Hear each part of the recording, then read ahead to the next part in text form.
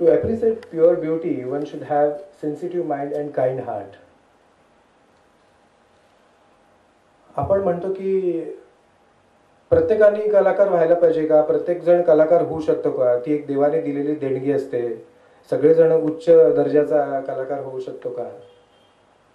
पण कलाकार आणि कला रसिक यांच्यामधला एक कॉमन गुणधर्म जो आपल्याला म्हणता येईल तो म्हणजे संवेदनशील मन. आणि प्रेमळ किंवा सहृदय आपण ज्याला म्हणतो. की कारण त्याच्याशिवाय ज्या गोष्टी आपल्यामध्ये यायला पाहिजेत किंवा अंतस्फूर्तीसाठी ज्या गोष्टी सहाय्यभूत ठरतात त्याच्यासाठी सहृदयता असणं गरजेचं आहे. कारण या फक्त बौ- बौद्धिक पातळीवरती गोष्टी घडत नाहीत. आता आपण वळूयात की दृश्यकलेचा दृश्यकला समजून घेण्यासाठी काय काय गोष्टींचा आपल्याला विचार करायला हवा? एखादं अमूर्त चित्र आपण बघतो आणि असं दिसतं की पोर्ट्रेट लँडस्केप्स हे आपण बघतो कारण तिथे छान झाड असतं पाणी पाणी असेल तर पाण्यामध्ये रिफ्लेक्शन असतं काही सनसेट असेल वगैरे हे छान. म्हणजे आपण जे आपण आजूबाजूला पाहतो तेच उत्तम प्रकाराने त्यांनी चित्रात रंगवलेलं असतं. आणि त्याचा आपण सहज आनंद घेऊ शकतो. पण अशा प्रकारचं एखादं जर चित्र असेल तर आपल्याला पटकन कळत नाही की काय बघायचं याच्यामध्ये. म्हणजे या चित्रकाराला काय म्हणायचं आहे त्याने हे कशाचं चित्र काढलंय? ही कुठली वस्तू आहे का? हे झाड आहे का? हे घर आहे का? हे काय आहे? हे कळण्यासाठी मला असं वाटतं की जशी आपण लहानपणापासून भाषा शिकतो भाषा शिकण्यासाठीचा ज्या काही गोष्टी अनुकूल आहेत एखादी भाषा समजून घेण्यासाठीच्या. आई आई अला काना हे खूप नंतर कळतं. पण पहिल्यांदा संस्कार त्याच्यावरती होतात की आपल्याला जी जवळ बोलावते ती आई असते. आपल्याला जी भरवते भूक लागल्यानंतर ती आई असते. रडू आलं की आपल्याला खांद्यावरती घेते कडेवर घेते ती आई असते. ही ओळख आधी असते. आणि आई या ग्रॅमॅटिक संज्ञेचं ज्याला ज्ञान म्हणूयात हे ज्ञान नंतर शाळेमध्ये गेल्यानंतर होतं. हा जसा भाषा शिकण्याचा आधीचा एक टप्पा आहे तसंच चित्रकला किंवा दृश्यकला ह्याचा आनंद घेण्यासाठी आपण म्हणत की आनंद घ्यायचा आहे तर मग भाषा कशासाठी शिकायला पाहिजे? आनंद तर काय? बघायचा आणि आनंद घ्यायचा. आनंद झाला तर नाही नाहीतर क्वेश्चन मार्क नाहीतर डोकं खाजवायचं किंवा समोरून निघून जायचं. एक सिक्वेन्स असतो कुठल्याही गोष्टीचा. एक प्रोसेस आहे. भाषेचा जसा की आपण स्वर व्यंजन शब्द आणि मग नंतर त्याच्यातले अलंकार आणि मग त्याच्यामध्ये त्या लेखकाचे व्यक्तिविशेष काय आहे? म्हणजे सगळ्या लेखन याच्यामध्ये. हे- हे जसे वेगवेगळे स्तर आहेत तसे चित्रकलेमध्ये सुद्धा आपण त्याचे स्तर बघत जातो. आणि हे केव्हा होतं? आपण ज्यावेळेला भरपूर चित्र बघतो भरपूर वेगळ्या लोकांची चित्र बघतो वेगळ्या शैलीतली चित्र बघतो. त्यावेळेला आपल्याला कळत जाते की प्रत्येकाने काय स्टेटमेंट मांडले किंवा प्रत्येकाची त्या आकारांच्याकडे रंगांच्याकडे बघण्याची त्याची स्वतःची अनुभूती काय आहे? इथे आपण बघतो की we see we feel and understand एक जनरल प्रोसेस अशी असते की एखादी गोष्ट आपल्या डोळ्यासमोर आल्यानंतर आपल्याला ती जर चांगली फील झाली तर आपण त्याचा फार विचार करायला जात नाही. कारण का? जी आपण म्हणतो ना की हृदयाशी भिडणारी गोष्ट असते त्याचा आपण तार्किकतेवरती विचार फारसा करायला जात नाही. पण इथं जर ती भिडली नाही तर मात्र मग प्रश्न निर्माण व्हायला लागतात. हे काय आहे? हे असं काय आहे? मागे काय आहे? सो एखादी गोष्ट समजून घेणं आणि एखादी गोष्ट भिडणं या दोन पायऱ्यांच्या वरती आपल्याला चित्राचा आस्वाद घेता येऊ शकतो.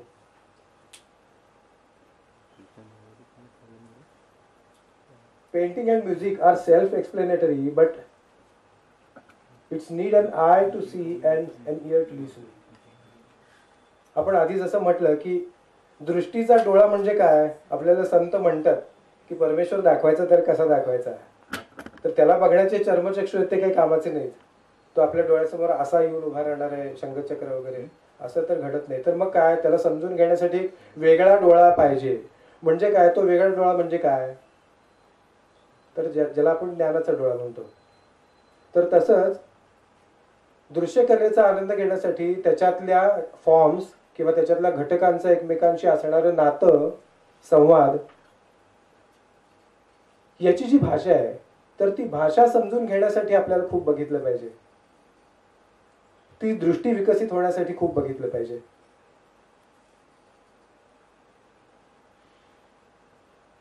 थोडस अमूर्त चित्रकलेच्या बाबतीमध्ये आपण बोलायचं झालं तर असा विषय आहे की subject doesn't need any explanation and the feel cannot be explain हा म्हणजे एखादं चित्र आहे की प्रसंग चित्र आहे की छान काहीतरी फळं वगैरे डिशमध्ये मांडून ठेवलेली आहेत आणि त्याच्या बाजूला एक छान एक वास आहे आणि फुलं आहेत छान. हे सांगावं नाही लागत हे काय चित्र आहे कशाचं आहे फुलं टवटवीत दिसत आहेत फुलं छान दिसत आहेत त्याच्यावरती ग्लेज आहे लाईट्स आहे छान. म्हणजे याला एक्सप्लेनेशनची गरज नाही कारण का जे फॉर्म्स आहेत ते सेल्फ सेल्फ एक्सप्लेनेटरी आहेत. कारण आपल्याला ते ओळखीचे आहेत. आणि भावाच्या दृष्टीने जर विचार केला तर फक्त जर रंग असतील तर आपण मात्र आकार शोधायला सुरू करणार. कारण आपण पहिल्यांदा मनामध्ये आकार उतरतात आणि मग त्या आकारांची ओळख होते की हे चित्र कशाचं आहे हे सफरचंद आहे का? हे त्याच्यामध्ये काय आणि काय काढले? का कांदा दाखवले का? किंवा काय फुलं असतील तर हे कुठलं फुल आहे? किंवा सिरामिक आहे का? हे लाकूड आहे? हे हे सगळे प्रश्न आपण बघितल्या बघितल्या जसे सुटत जातात तसा आपण त्याचा आनंद घ्यायला मोकळे होतो. There is no question mark पण असं एखादं चित्र असेल की ज्याच्यामध्ये ओळखीचा आकार काहीच नाही दिसत आहे फक्त रंग दिसतात. आपण काय करू त्यावेळेला? तर ती जी गॅप आहे तर ती ती गॅप भरून काढण्यासाठी ज्या गोष्टींची आपल्याला माहिती होणं गरजेचं आहे त्याच्यातल्या काही गोष्टींचा आपण थोडक्यात आढावा इथे घेऊयात. It's more about the dialogue between shapes lines colours tones and the space आपण एखादं सुंदर निसर्ग चित्र बघतो किंवा एखादा सनसेट फोटो जरी बघितला तरी आपल्याला असं दिसतं की काय छान. आकाशामध्ये ते असे छान पसरलेले रंग असतात सूर्यास्ताचे. आणि मग सूर्य असा खाली अस्ताला चाललाय. आणि त्याचं रिफ्लेक्शन पाण्यामध्ये दिसतंय. आणि पाण्याच्या त्या लाटा. हे सगळं इतकं सुखद असतं आपल्याला की ते बघत असताना ओळखीच्या आकारांच्या व्यतिरिक्त त्याच्यातल्या रंगछटा त्याच्यातल्या आकारांची असणारी जागा त्याच्यामध्ये असणारी स्पेस ह्या सगळ्या गोष्टींचाही परिणाम आपल्यावरती होत असतो. फक्त काय की ते अजाणतेपणे होतं. म्हणजे आपल्याला हे कळत नाही की इथे ही होरायझन आहे. ते चित्र किंवा ते फोटो जो फो असेल तर तो कसा डिवाइड केलाय.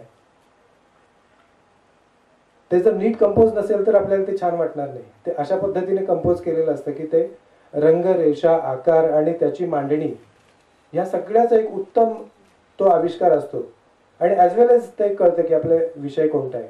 आणि मग आपल्याला ते चित्र छान वाटायला लागतं.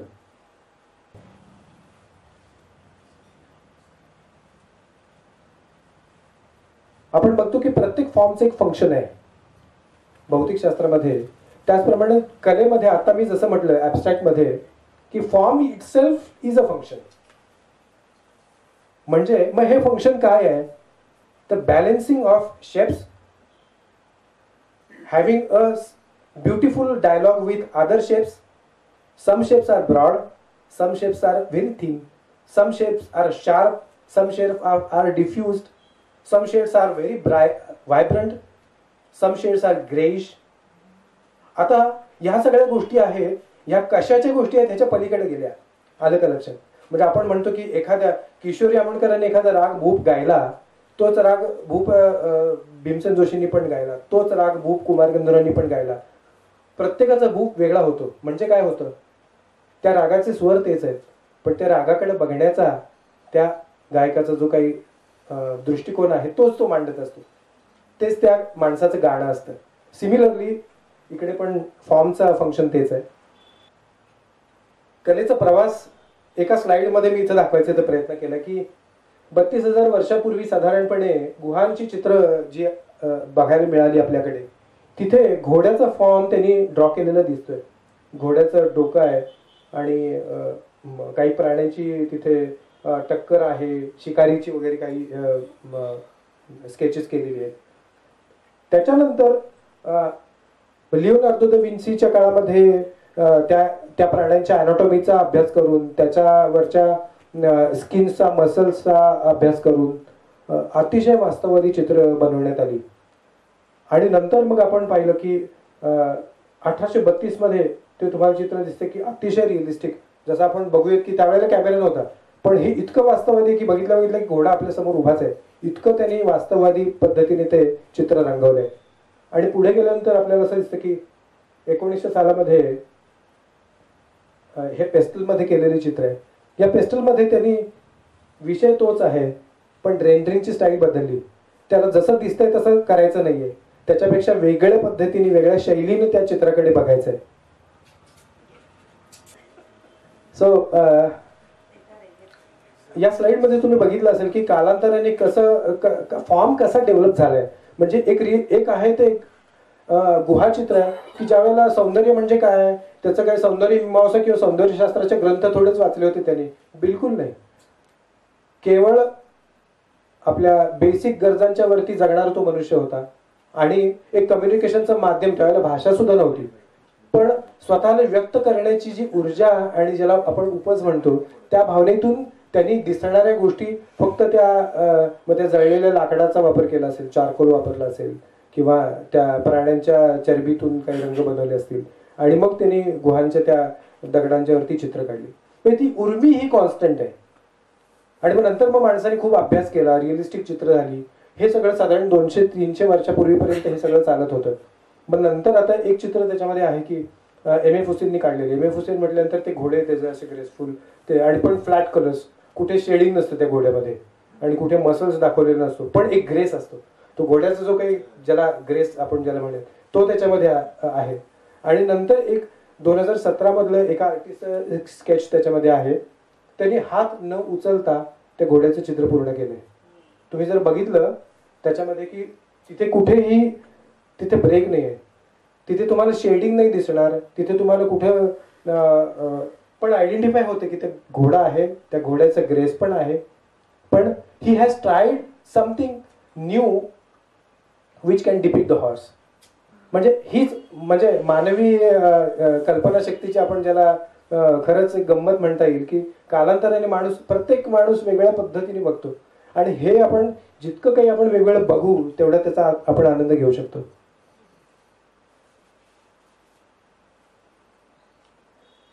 एक रेफरन्ससाठी दाखवलं आहे की वरती आहे तो त्या ठिकाणचा फोटो आहे काढलेला. आणि खाली आहे की त्याच ठिकाणावरती आर्टिस्टनी काढलेलं ते लँडस्केप आहे. आता हे करत असताना चित्रकारांनी काय काय केलंय बघा तुम्हाला दिसेल की प्रपोर्शनमध्ये त्यांनी बदल केलाय. आक- आकार तेच आहेत रंग रंगछटा पण कुठली छटा कुठे वापरायची? तो आकार किती मोठा दाखवायचा? कुठ- किती लहान दाखवायचा? तो त्या फ्रेममध्ये कसा डायलॉग किंवा डिझाईन डायलॉग क्रिएट करेल? एकमेकांशी ते फॉर्म कसे बोलतील हा त्यांनी प्रयत्न केलाय.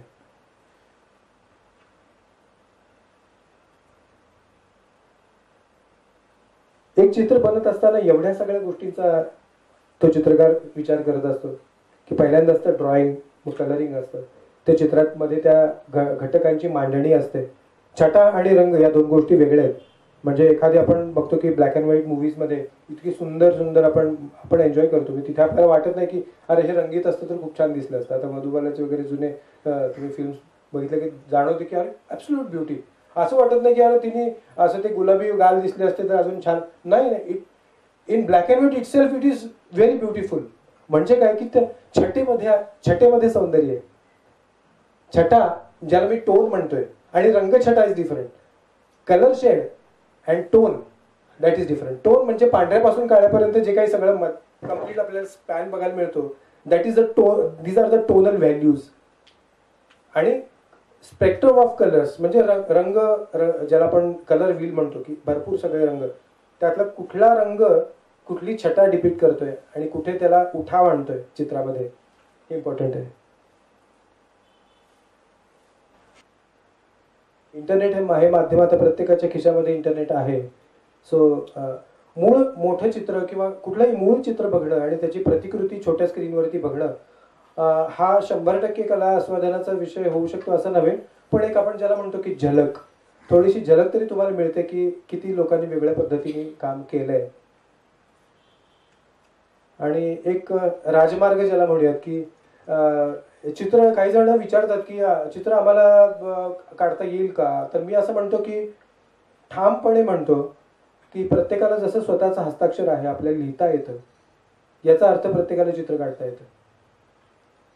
प्रत्येकाला जसं स्वतःचे स्वतःचं हस्ताक्षर आहे ना आपण दुसऱ्याच्या सारखं लिहितो का? नाही. आपलं स्वतःच हस्ताक्षर असतं. तसं प्रत्येकाची रेषा ही त्याची स्वतःची असते. आणि त्याच्याप्रमाणे व्यासंग आणि सातत्य ठेवलं तर प्रत्येकजण आपण कला शिकू शकतो.